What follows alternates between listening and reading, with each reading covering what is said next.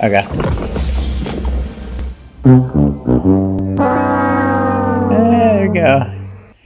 I don't need that.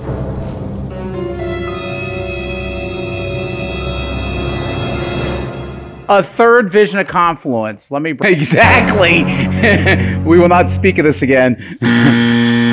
I got another vision.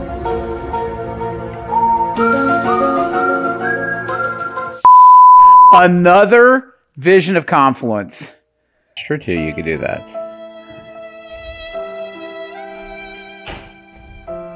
I'll go in on left. Vision of confluence. I am not. So yeah, there's a vision of confluence sitting in my uh, sitting in my uh, uh, postmaster. That's hilarious. Let's break that down too.